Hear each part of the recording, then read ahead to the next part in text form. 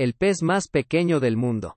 Paedocypris progenetica hace 12 años se descubrió en Sumatra el pez más pequeño del mundo que además es también el animal vertebrado más pequeño del mundo, según ha publicado la revista científica británica Proceedings of the Royal Society, Biological Sciences.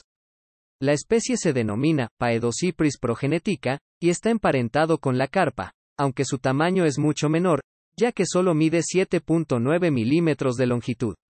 Este pez es un milímetro más pequeño que el vertebrado considerado hasta ese momento como el más pequeño de la Tierra, un gobio encontrado en la región del Indo-Pacífico. Vive en la turba y en ríos de aguas ácidas. Las hembras alcanzan un tamaño máximo de 10.3 milímetros, los machos 9.8 milímetros y el espécimen maduro más pequeño conocido, una hembra de 7.9 milímetros. Fue el vertebrado más pequeño hasta el descubrimiento de la rana Paedophrenia mawensis que fue oficialmente descrita en enero del 2012.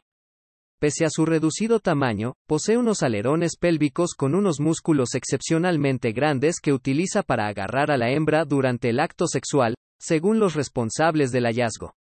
Según los descubridores de la especie, Paedocypris progenetica, los adultos tienen un cuerpo transparente, circunstancia que les da la apariencia de una larva, y viven en aguas oscuras que presentan un nivel de acidez al menos 100 veces superior al del agua de lluvia.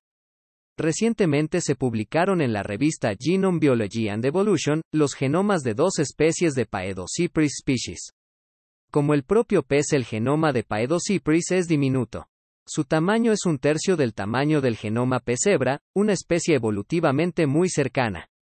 Los investigadores creen que el pequeño tamaño de los individuos de la especie está relacionado con el tamaño de su genoma, pero todavía no han encontrado la relación causa-efecto entre ambos.